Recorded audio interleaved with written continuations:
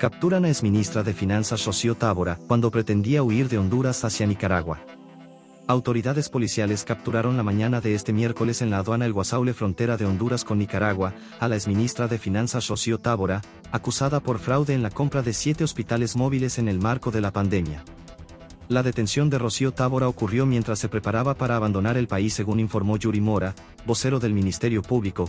Hemos sido informados por los fiscales a cargo de la investigación de los hospitales móviles, quienes han presentado este segundo requerimiento fiscal. La Policía Militar de Orden Público efectivamente ha arrestado a la exministra de Finanzas, Rocío Isabel Tábora, cuando intentaba salir de Honduras por la aduana.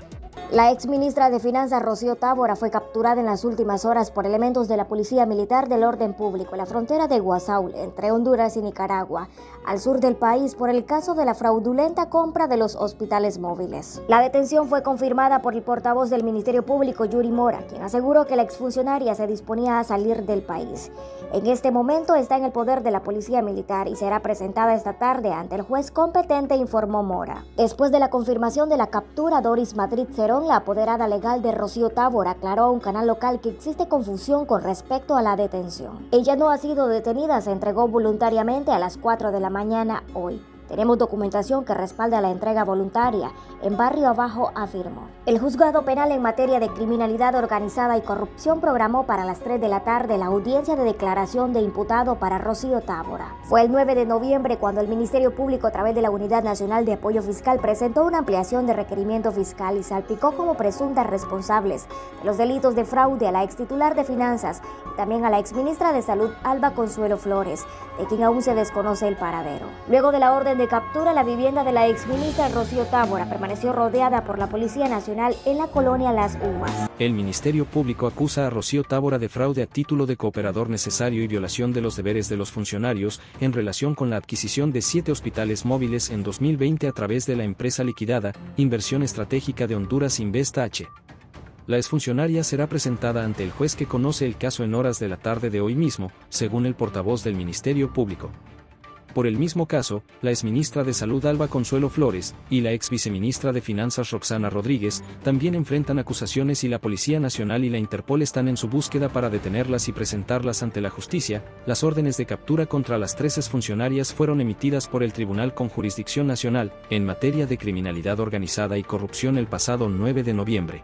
Está conmigo el señor portavoz del Ministerio Público, don Yuri Mora. Yuri, ya prácticamente podría tratarse de media hora, eso iba a ingresar a usted y le agradezco que nos haya atendido porque iba a subir usted. ¿Cuál va a ser el procedimiento, Yuri? Buenos días, nuevamente. Bueno, eh, sí, eh, eh, la información que tenemos hasta este momento, pero tengo que confirmarla, es que el circuito de juzgados anticorrupción ha dado la hora de 3 de la tarde para llevar a cabo lo que es la audiencia de declaración de imputado.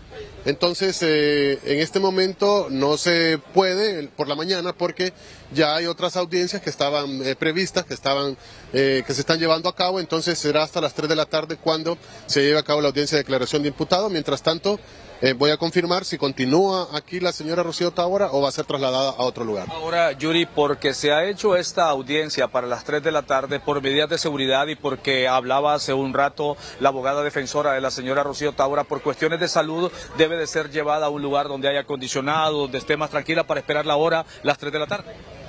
Eso es algo que tengo que confirmar porque lo desconozco, pero si así es, eh, lo que sí es que a las 3 de la tarde es la audiencia de declaración de imputado. Recapitulamos, ¿el procedimiento se entregó o fue captura? Se entregó a la policía militar en la frontera del Guasable.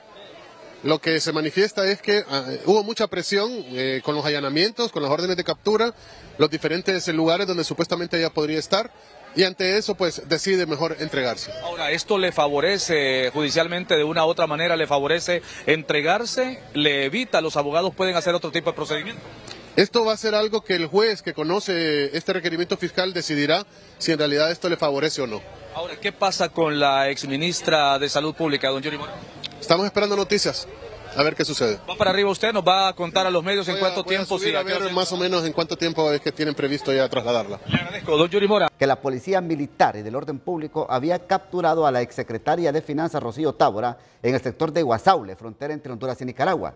Sin embargo, sus apoderadas legales, tanto la abogada Doris Imelda Madrid como la abogada Carla Romero, han aclarado que definitivamente lo que existió fue una entrega voluntaria. Y he presentado en exclusiva aquí en el matutino eh, Renato, y que lo comparto usted aquí en el frente a frente, este documento que está en pantalla. Sí. Y este documento que está en pantalla, Renato, relata realmente cómo fueron o cómo sucedieron los hechos. Se lo voy a leer. Acta de registro personal. En el municipio de Comayagüela, departamento de Francisco Morazán, siendo las 4.06 de la mañana del día miércoles 15 del mes de noviembre, la policía, los policías militares asignados al complejo de la Policía Militar del Orden Público, por medio de la presente, hace constar que en relación a la denuncia interpuesta por el delito de fraude como cómplice necesario en perjuicio de la administración pública, lugar de detención, ahí dice Renato, entrega voluntaria. Es decir, la exsecretaria se entregó. Ya le voy a explicar cuál fue el procedimiento. Entrega voluntaria. Procedió a realizarse un registro personal ante la anuencia positiva a la señora Rocío Isabel Taura Morales. Ahí está el número de identidad, 59 años de edad, estado de civil eh, soltera, profesión u oficio, consultora, nacionalidad hondureña, y ahí relata todos los hechos residentes en la colonia Lara. Al momento de practicarle registro personal, no se le encontró, dice la policía militar, absolutamente nada. Se firma la presente constancia en el mismo lugar y fecha del día 15 de noviembre del 2023. La Secretaría de Seguridad es que ella salió el fin de semana hacia la República de Nicaragua. Y aparentemente la intención era buscar asilo político en territorio nicaragüense. Aparentemente la alerta internacional de captura, la alerta roja internacional de captura contra la ex subsecretaria de Finanzas, imposibilitó que lograra este objetivo. En territorio nicaragüense, me ha informado el portavoz de la Secretaría de Seguridad, Miguel Martínez Madrid, en territorio nicaragüense se le advirtió que si pretendía estar ahí, no se le iba a dar asilo político, iba a ser capturada y iba a ser enviada hacia el territorio hondureño. Aparentemente no se le dio este beneficio de asilo político y ella junto con sus defensoras al regresar nuevamente al territorio hondureño, no es que fue expulsada, porque no fue expulsada, sino que al ver esta negativa del gobierno nicaragüense... Regresó. Se regresó al territorio hondureño y sus defensoras hicieron la entrega voluntaria ante la policía militar. O sea, ya, ya, cuando pendía sobre ella la orden de captura. Recuerda que hubo una reposición, ¿verdad? Correcto. Pero ya desde ayer ya prácticamente quedó de nuevo activada la orden de captura. La orden de captura internacional y nacional, correcto. Ah, pero ¿cómo logró salir del país? Esa es la pregunta. Esa es la pregunta. Eh, de repente sus defensoras, Renato, deberían de contestarnos estas inquietudes, sus apoderadas legales, porque esto es lo que nos informa a nosotros la policía. La policía no da fecha del ingreso de ella al territorio nicaragüense. Solamente nos dan los elementos, los elementos que no logró el propósito del asilo político. Al no lograr este beneficio de asilo político, entonces ella retrocede al territorio hondureño y es donde se hace la entrega voluntaria. Se refugiaron en Nicaragua, no hubo alerta internacional. Dígame, Renato. No hubo alerta internacional para los otros hondureños que sí les concedió el asilo Daniel Ortega. Tengo entendido que había alerta de O, o será que Rocío, Interpol sabía de eso. ¿Será que Rocío no llevaba suficiente dinero ahí para darle su tajada a Daniel o para invertir en Nicaragua? Mira, no, no, no.